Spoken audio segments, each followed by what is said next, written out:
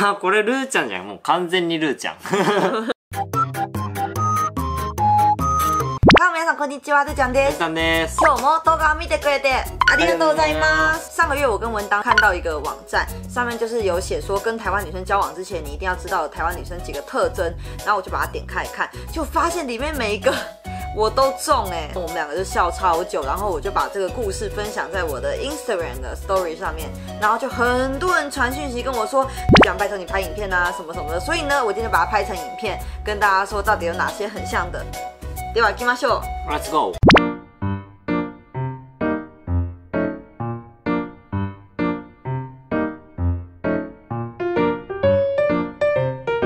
ちょっとってやっぱりさ我慢するんだよねうん。 だから我慢して結局わからない。でその我慢が積もり積もって喧嘩に発展するの。あー。私あの時そう思ってたのよ。えなんで言わなかったのとか思う時もあるけど まあルーちゃんは結構すぐ素直にいろいろ何でも言ってくれるから、もうその場で解決する。からあまり喧嘩は長引かない。そういう素直な面はいいかなと思う、ありがとう。うん。あとまあルーちゃんの場合ねあなたが好きとか。うん。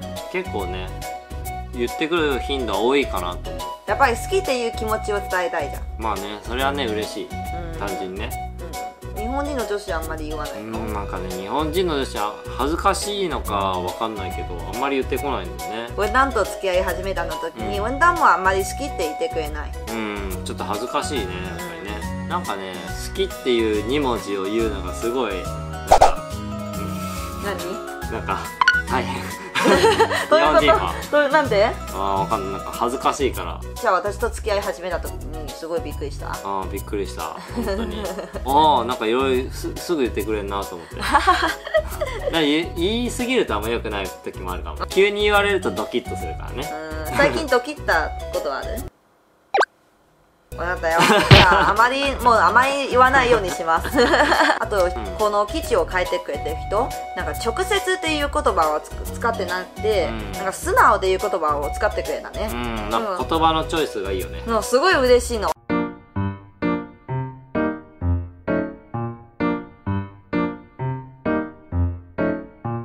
これは私と温暖はあまりないんだよね。そうだね私俺もそこまで感じないかカバンもやっぱり私にとっておしゃれだから、うん。持たせたくない、あーなるそして温暖も結構なんかそのコーディネートが好きな人なんでもうもし私のカバン持つとすごい嫌がるって感じだよね。ね そうだね。コーディネートが崩れちゃうから。でも一緒に買った重いものとか野菜とかそういうものがほとんど温暖が持ってくれてます、うん。まあそれはね。ありがとうございます。ありがとうございます、まあね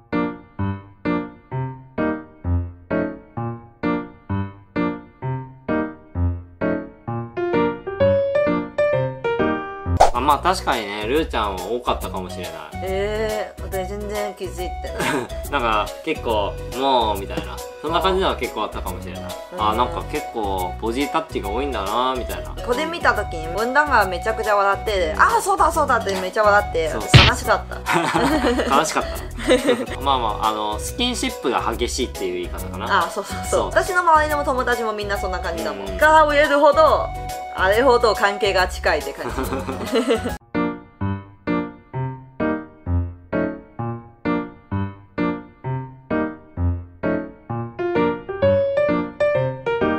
まあでも俺とルーちゃんはそこまでねないよねこれね。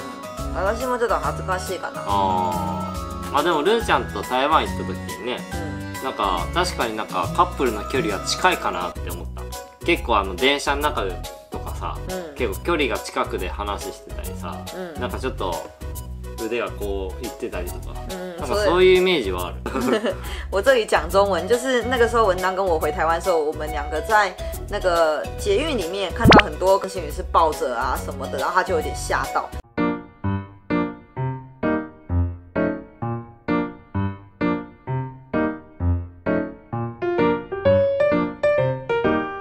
昔あんまやってなかったかも。ありのままの視線の感じが一番いい。あって感じ、ね。そう。あとやればやるほど遠くなるからじゃあ何もやらない方がいいんじゃないですか？って感じ。でもウォンタンと会う前に絶対やる。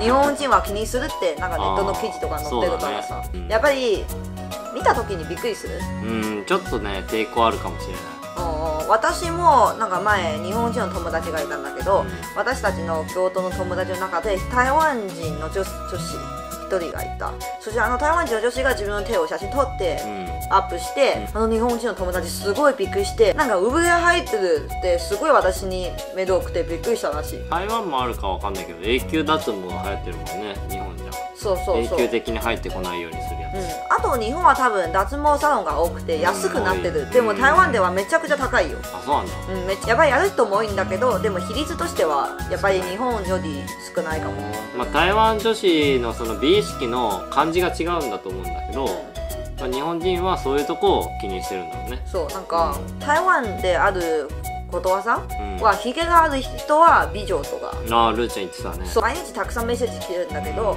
やっぱり日本に行って脱毛しないといけないとかやっぱり手の毛とか気にするとかうん。本当に日本人は気にするだと思う。もちろん気にしない人もいるんだけどでも比率としてはやっぱり低い。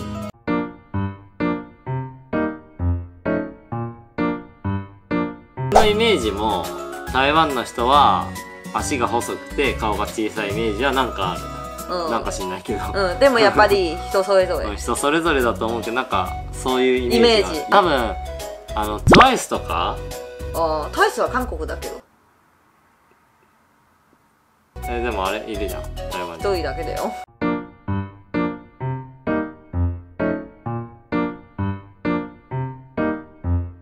俺も俺も TWICE のイメージだわだからガイスの中台湾人は一人だけでもその台湾人の人はすごい綺麗じゃん。ああそうだねすごい綺麗。ね。すゆまとネットとかでも台湾の女性を調べると結構そういう人が結構出てくるから。で私ちょうど低めだね。ねルーちゃん低いけどね。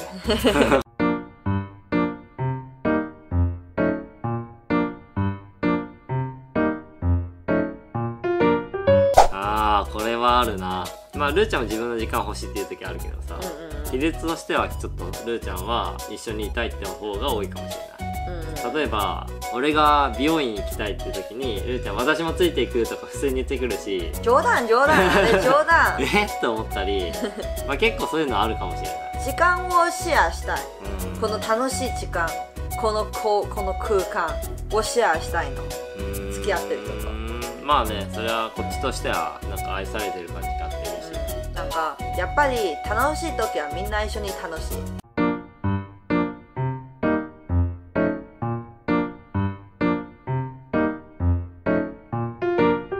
前も動画も言ったもんそうそうそう。前も言ったけどルーちゃんはあんまり台湾人女子ってイメージじゃなくてなんか日本に染まってるなっていうイメージあるね。うん、確かに最近スカートめちゃくちゃ多くなったアメリカに近いって感じかな。で、まあ動きやすいって感じだよね。そうそうそう、うん。なんかアメリカっぽい感じでおしゃれって感じがある,、うんもうあると思う、うん。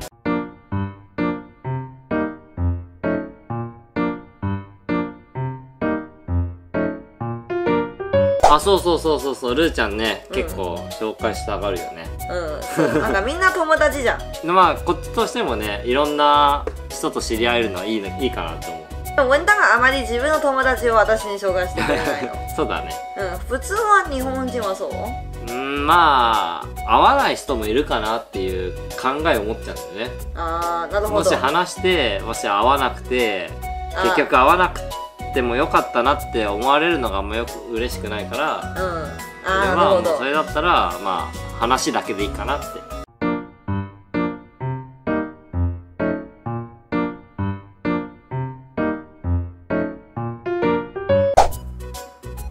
私は濃くないよ。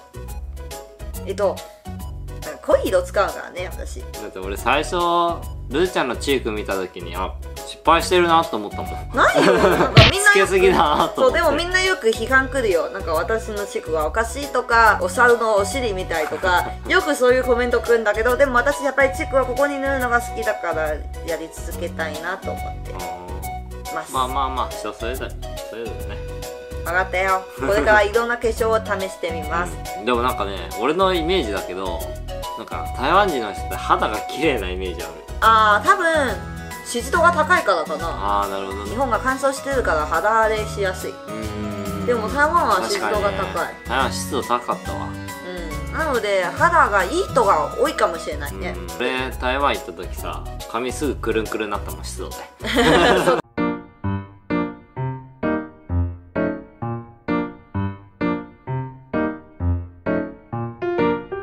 これ前文旦の動画の中でこれも言ったんだけど言ったね。でも私は最近料理してます、うん普通にルーちゃんの手料理食べるわ。うん、どんどん上手になってます、ね。どんどん上手になって動画撮って皆様に送ろうと思います。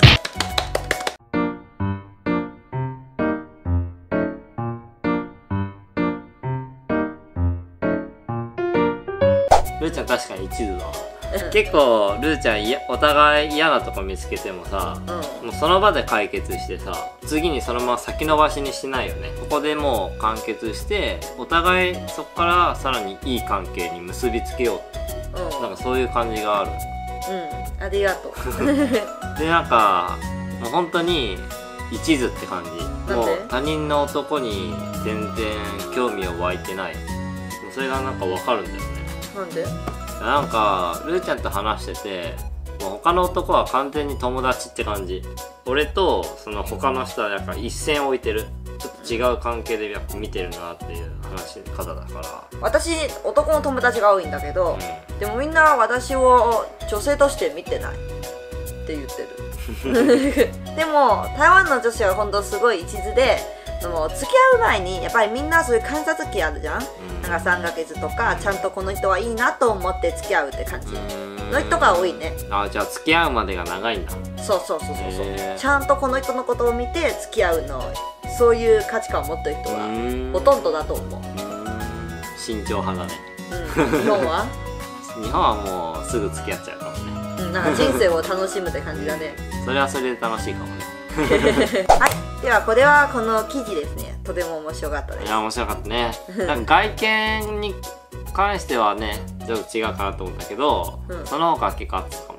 うん、なんかその本当これ見た時にめちゃくちゃ私のそのままだってめちゃくちゃ笑ったことをまた覚えてる、そうそうそう。私の周りの台湾人もそんな感じだ、まあ、結構台湾の人はあのフレンドリーな人が多いなってイメージあるね。台湾の人はみんな楽しそうなイメージあ前我何も言ったもんねなんかみんなと都合ってるって感じそうそう那如果说你喜欢这个影片的话呢，都欢迎帮我们按一个赞，然后分享给你的朋友，然后订阅我们的频道，再开启连当 铃铛讲来，呃，开启铃铛铃铛，开启铃铛接收最新的通知，这样子我们发新影片，YouTube 就会传讯息给你哦。然后呢，也可以 follow 我的 Instagram 在这边，我的 Instagram，我的日常都会记录在 Instagram 上面，有兴趣的人可以 follow 一下。那今天影片就到这里啦，我们下次影片再见，拜拜，バイバ拜拜イちなみにルーちゃんにこの緑のセータークリスマスツリーと言われましたちょっと悲しい See you next time バイバイルーちゃんルーちゃんル ーチャンネル登録よろしくね。